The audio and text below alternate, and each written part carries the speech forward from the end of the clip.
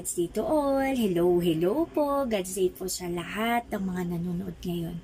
And this is Friday and alam po natin na every Friday, ang ano po natin is a prayer.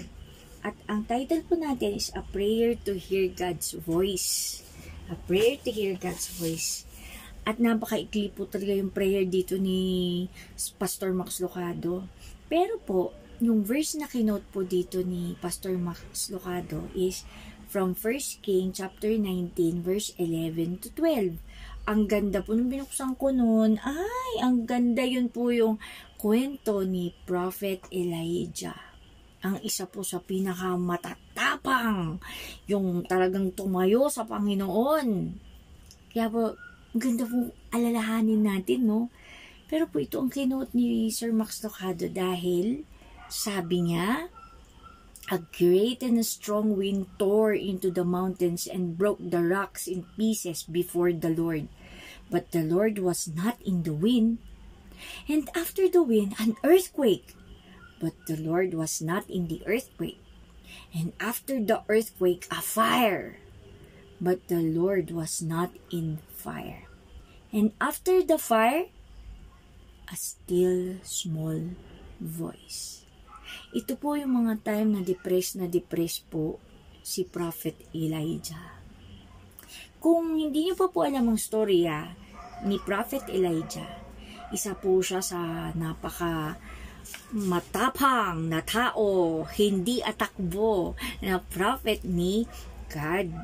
At yung mga time na po yun, ang mga Israel, Israelites ay sumasamba na sa Diyos-Diyosan na nilid ni Ahab, isang isang Israelites din na nakakadismaya ngay po talaga dahil sunsunudan siya sa asawa niya, si Jezebel. Naniniwala sila kay Baal. So, para po i-proof, ang ganda po ng storya na kung paano prinove ni Elijah sa mga Israelites at sa mismong mga propeta, prope, propetahan ni Baal na ang si God natin is the one true God, the most powerful God. Alam niyo po ang storya po dito. Ito, sabi niya, uh, hinamon po niya. Sabi niya, hinamon niya. Hinamon niya yung mga prophet ng ni, ni Bea sa harap nung ni King Ahab na naghahari doon. Sabi niya, uh, I have not made trouble for Israel, Elijah replied but you and your father's family have. Sabi niya, you have abandoned the Lord's command and have followed the Baal. Sabi niya, now summon the people from all over Israel to meet me on Mount Carmel and bring 450 prophets of Baal and the 400 prophets of Asherah who eat at Jezebel's table. Ibig sabihin, hindi lang po isa yung Diyos nila. May Baal na, may Asherah pa.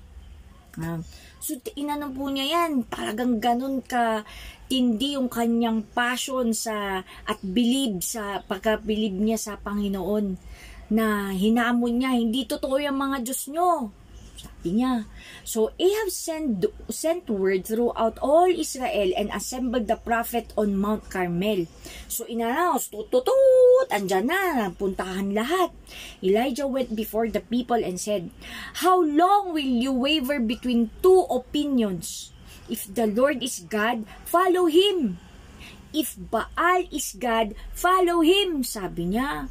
Challenge niya pati yung mga people of God ano ba kayo? Sabi niya siguro asar na asar siya dito sa mga uh, kababayan niya, ano? Nakita na nga nila noon yung kung paano kumilos ang Diyos. Tapos ngayon magdadalawang isip sila, mag-worship sila sa ibang Diyos.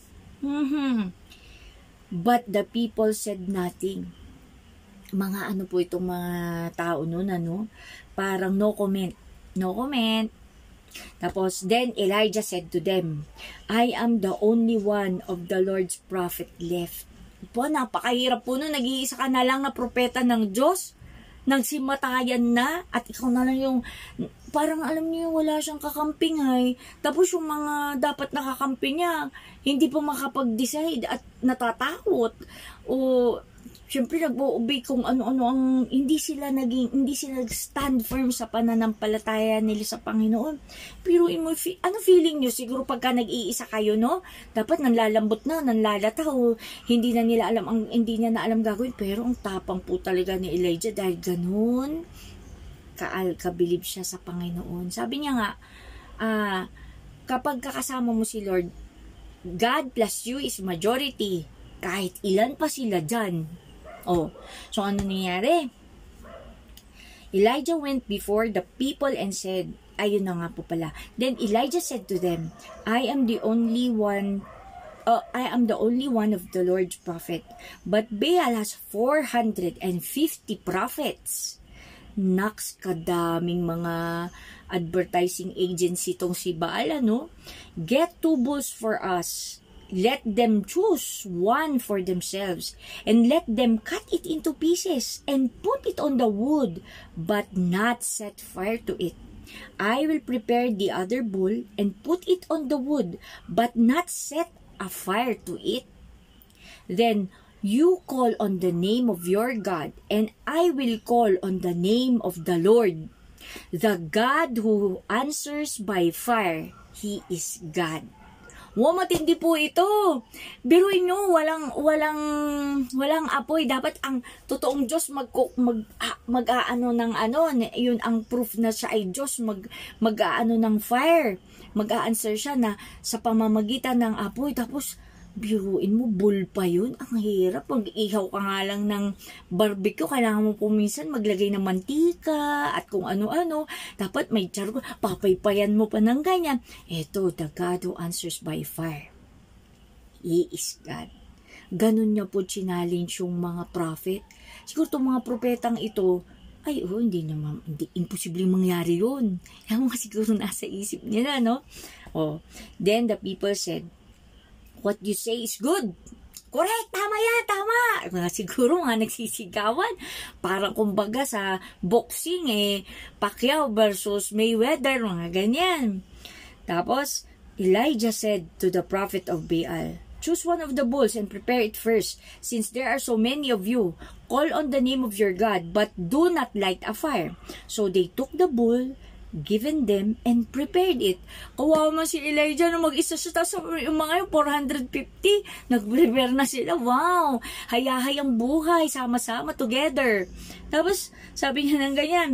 Then they called on the name of Be Baal from morning till noon. Ngek, katagal. Mula umaga daw po hanggang magnoon time na eh ano, nag nag-aano na sila, nagko-call na sila sa sa Diyos-Diyosan nila. Tapos Oh Baal, answer us! Ito yung mga sabi nila. Oh Baal, answer us! They shouted, but there was no response. No one answered. And they danced around the altar they had made. May pasayaw pa! May pasayaw pa sila. Kung mag-ano kayong fire, Baal, may pasayaw. Ang dami na sumasayaw. At noon, Elijah began to taunt them. Nako, tangali na. Siguro langaw-langaw na po yung, yung ano no, yung pool doon. Tapos, sabi niya ngayon, shout louder! Sabi niya, oh, nang aasa. Mga asa din pala to si, si Prophet Elijah, no? Nasa, shout louder, he, he said. Surely he is God, sabi niya. Perhaps he is deep in thought uh, or busy or traveling, sabi niya. Maybe he is sleeping and must be awakened. Oh, gisingin niyo na yung Diyos-Diyosan nyo. Sabi niya, so they shouted louder and slash themselves with sword and spear. Tingnan mo, may, may, may padugo pa silang nalalaman. May pa, ano yun, may pa, pa ano-ano pa sila, pasugat-sugat, patawarin. As their, as, ano, as was their costume, ayun, oh, ano pa ba, kumbaga yun yung mga sinusunod nila noon para pakinggan sila, may padugo pa silang nalalaman sa mga sarili. Under their blood flowed. Midday passed, and they continued their frantic prophesying until the time for the evening sacrifice. Gabi na! mga kapatid, gabi na! Abay, kung totoong Diyos yun, just a snap. Ganun lang po si God, di ba? Pero sila gabi na, hindi, hindi sila naririnig. But there was no response, no answered no one paid attention. Pagod na siguro yung mga mga prophet ni Baal nito, no? Pero sayo silang sayaw, dun, nagduduguan pa yung mga kamay nila, patawarin, at uh, sagaw pa sila ng sigaw. Isipin nyo na lang, imagine niyo kung ano ba nagagawa nila. Siguro si Prophet Elijah, antok na antok na, baka nakatulog na to, nagising na, wala pa rin nangyayari. Ay di gabi na, so ako na. Sabi ni Elijah, i-turn niya na. Then Elijah said to all the people, Come here to me talagang ano siya, parang uh, full heart siya dito. Talagang alam niya hindi siya papahiyain ng Panginoon. They came to him and he repaired the altar of the Lord which was in ruins. Elijah took 12 stones. Makabuluhan po kasi yung 12 stones kasi 12 tribes of Israel. For one for each of the tribes descended from Jacob, to whom the word of God had come, saying, You shall, uh, your name shall be Israel. O di ba yung mga dose na anak na tribo? O tapos, anong ginawa? With a stone, he built an altar in the name of the Lord, and he dug a trench around it, large enough to hold two seas of seed. Biro mo, nag-dig pa siya. Malalim dalawang sako ng ano, pwedeng ilagay doon. Ibig, ibig, ibig, gaano kalalim yun, yung trench na yun. He arranged the wood, cut the bull into pieces, and laid it on the wood. Then he said to them, Fill your large jar with water and pour it on the offering and on the wood. Talagang ni pinagyayabang talaga niya si God. Naku, sisiw lang yan ni Lord. Buhusan yung tubig. Aba, eh, fire nga ang inaano, niya ng tubig. Four jars. Pagkatapos, nung nata natapon na yun, sabi niya, do it again. Apat uli. Apat na dyan. Disok na sok na sa tubig yung bowl.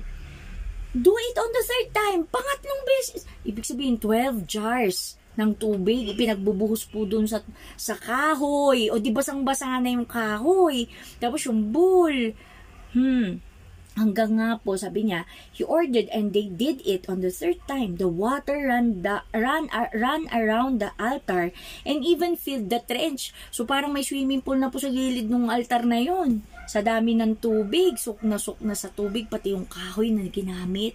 Eh di ba po pag ganun, ang hirap naman paapuyin? Kahit maglagay na siya doon ng apoy, hindi na aapoy dahil sa sobrang basa.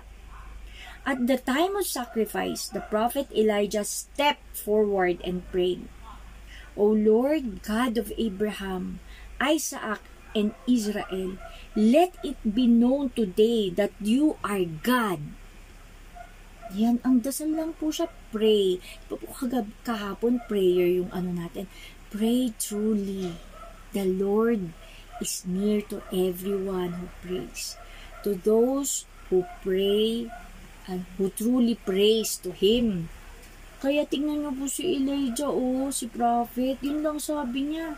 In-acknowledge niya that the Lord, you are the God of Abraham, the God of Isaac, the God of Israel. Let it be known today that you are God of Israel and that I am your servant and I have done all these things at your command. Lord, iprove mo sa kanila. Sabi niya, oh, kasi sinabi mo ito sa akin, inutos mo sa akin, di ba? Pakita mo sa kanilang lahat, sabi niya. Answer me, O Lord, answer me, so these people will know that you, O Lord, are God. Ibig sabihin, bakit niya ginagawa yun? Kahit nagyayabang siya, Pinabus-busan niya pa dahil gusto niyang makita nila talaga na si God ay God. And that you are turning their hearts back again. Yun po yung pinakagusto niya na dahil doon sa kakaibang way kung paano i-prove dahil lang sa fire na mangyayari na imposibleng mangyari. Paano po mangyayari yun? Kung yung kahirap-hirap nga na maglagay ka pa ng apoy, eh paano ba yung maghahantay ka sa apoy na magmumula sa langit? Eh doon po ipoprove niya na totoo si God. Hindi siya nahiya, hindi siya natatakot. Pero sinabi niya, Lord, puprove mo na, taig na ito ang pinapagawa mo sa akin. No? Eh, tapos, alam niyo po, then the fire sabi of the Lord fell and burned up the sacrifice, the wood, the stones, and the soil. Aba, si God talagang to the max din po yung pagpuprove niya. Ayaw niyang mapahiya yung kanyang prophet. Ayaw niyang mapahiya yung mga servant niya. And also lick up the water in the trench. Pati yung tubig na tuyo. Tingnan niyo po si Lord no.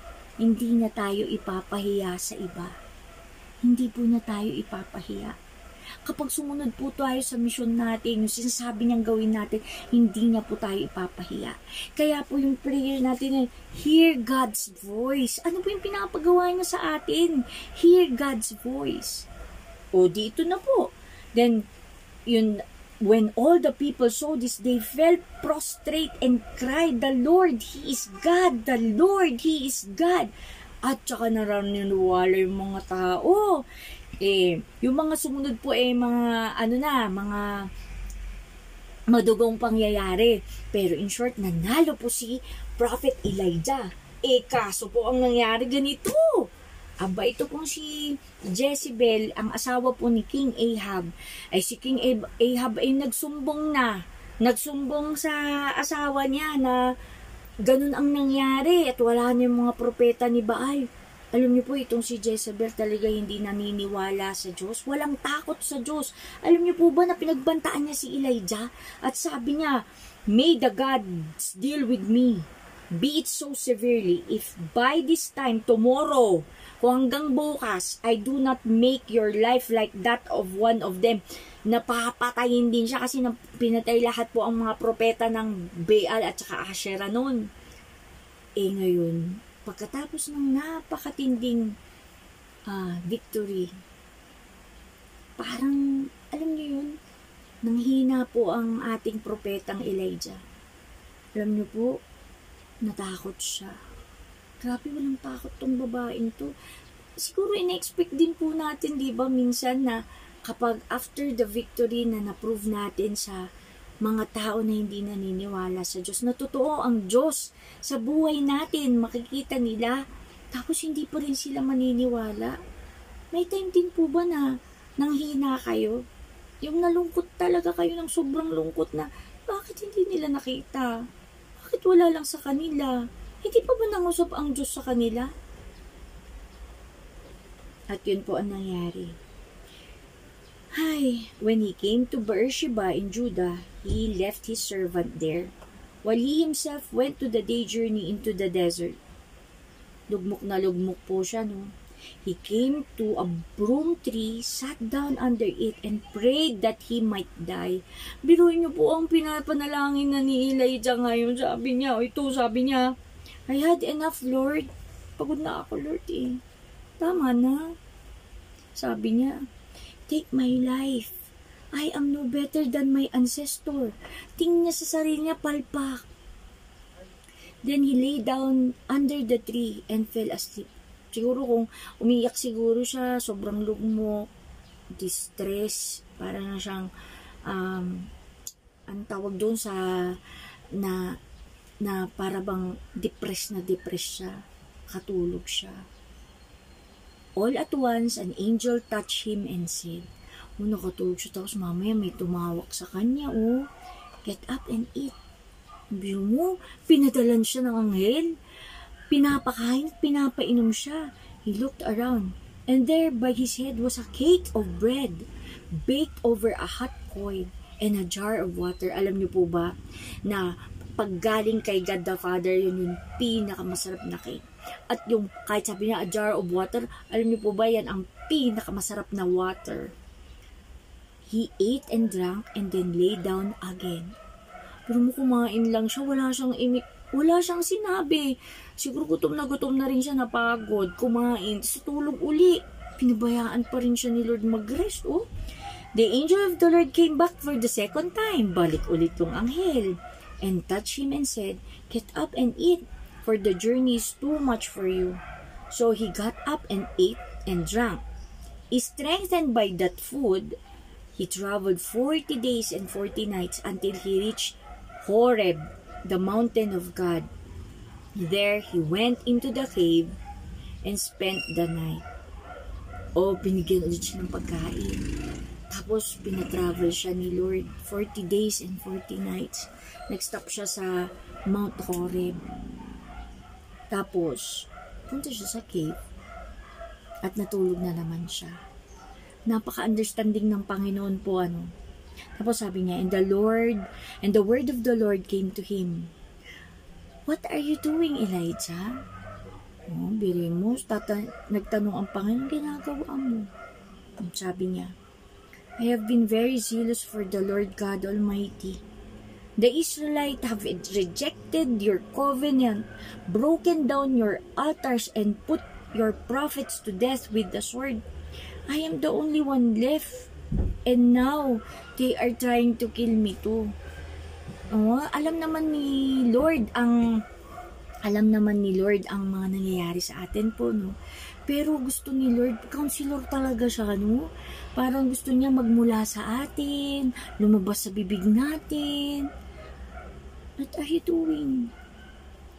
Ay kayo po, ano ba, kung meron po ba kayong mga pinamisyon ng Panginoon na pagkatapos yung nagawa yung best ninyo na feeling nyo victorious na kayo tapos biglang tingin nyo wala lang nangyari tapos, depressed ka, malungkot ka.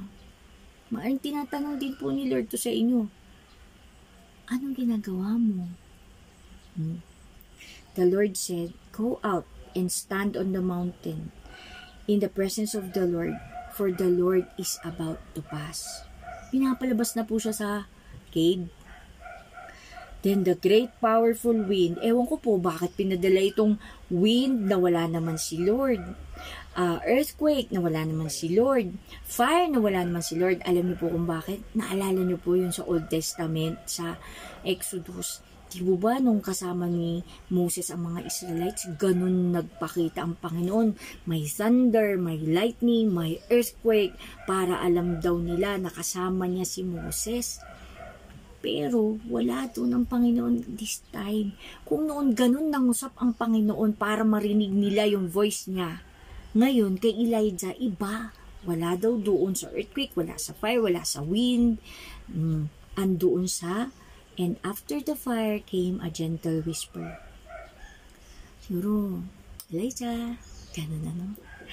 When Elijah heard it, he pulled his cloak over his face and went out and stood at the mouth of the cave. Tsaka na siya lumabas. Then the voice said to him, What are you doing, Elijah? Inulit ng Panginoon. Inulit ng Panginoon. At nung, yung sina, nung sumagot si Elijah, parehas pa rin ang sinasabi niya, walang pagbabago. Kung ano po yung sinabi niya dun sa verse 10, yun pa rin po yung Sinabi niya sa verse 14, he replied, I've been very zealous for the Lord God Almighty. The Israelites have rejected your covenant, broken down your altars, and put your prophets to death with the sword. I am the only one left. And now they are trying to kill me too. Di ba po walang pinagbago? Parehas din. Talagang hindi nagbabago ang isip kay Elijah. Talagang nakita na ni Lord na pag uh, itong anak ko to, pagod na pagod na kaya, binigyan na siya ng bagong instruction. Ganito ang gawin mo, ganyan ang gawin mo. Tapos, i-anoint mo na si Elisha, the son of Shaphat, from Abel Mehola to succeed you as a prophet. Alam niyo po mga kapatid, ang mission po natin sa iba't ibang season ng buhay natin, meron din po siyang ending naalala ko po nung nung sa nung mga ano pa ako kabata-bata pa ako siguro nga mga mabilis na mabilis pa ako kumilos and everything. Children ministry, papagawayan ng Panginoon. Hindi lang po sa church, pati sa barangay, di po ba? Tapos nung medyo tumatanda na ako hanggang sa dumating, magkaka-assistant na ako, ganyan. And pagkatapos nun, dati po kasi gumagawa pa ako ng mga kalalaking design sa church na mga para sa VBS. And eh, pagkatapos nung dumating na yung ano, season naman na sa pamilya ko, pagkatapos iba na naman, tapos na naman. Pagkatapos yung nasa ospital kami ni Angelo na ang gagawin ko lang ay mag-share ng mag-share ng word ni Lord. Iba na namang mission. Pero natatapos din po hanggang sa nagkaroon tayo ng hospital ministry. Pero pagkatapos na yun, nagka-COVID, hindi na pwedeng mag-hospital ministry. Tapos, ibang mission na naman yung pinagawa ng Panginoon. Hanggang hindi pa po tapos at expired yung sinasabi nga ni doktora na buhay na binigay sa atin ng Panginoon. Meron at meron tayong mission. Yun nga po yung purpose natin eh. To glorify God, to share God to others, to prove to them that God is real. Darating din po tayo sa time na to at sana po, we finish it well. Hear God's voice, kapatid. Kung ano man po yung pinapagawa niya sa inyo, gawin po natin ng whole heart at manalangin po talaga parati tayo. Iba-iba man po ang way ni Lord na makipag-usap sa atin. Ang importante, marinig niyo po kung ano yung gusto niyang sabihin sa inyo at ang higit sa lahat, nagawa natin kung ano yung gusto ng Panginoon na gawin natin para sa glory niya. Hi! Sana po natuwa kayo at meron po akong naibahagi ba? Hmm, God willing, si Lord na po ang maririnig ninyo sa mga kwento po ng buhay ng mga tao. Wala man po dito sa kay Pastor Max Lucado, pero po yun yung pinaka-point eh. Hear His voice. Obey it Do it for His glory. Stand firm on it. Ano man ang mangyari, akala man natin palpak, merong pangyayaring maganda doon, kapatid. Kaya po yun, pray na po tayo, babasahin ko na po ito, at ipray po natin ng buong puso.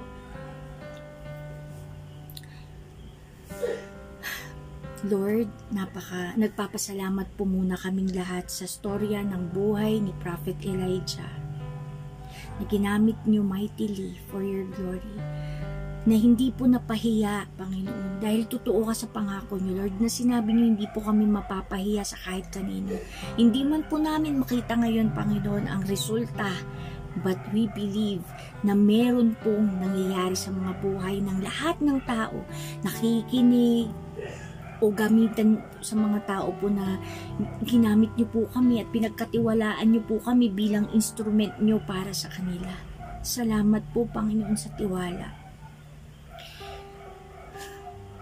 Great God of the universe, God of Jacob, the God of Isaac, the God of Abraham, and our God. You are the King of the Jew, pero po, sinabi niyo rin po na bilang kami ng mga Gentiles na naniwala sa anak ninyo, hari po rin namin kayo, Panginoon, Ama namin nasa langit. Thank you po that you are speaking to us in ways only we can understand. Alam ko, Lord, nakilala niyo po kami at alam niyo po kung paano niyo po kami kakausapin sa paano kaming ikrineate ninyo tulungan niyo po kami na maunawaan talaga, Panginoon, kung ano yung gusto niyong gawin namin. Help us to learn to hear your voice in your word and in all the other ways you speak. Maraming salamat po. In Jesus' mighty name we pray. Amen. Good morning po! See you again next week!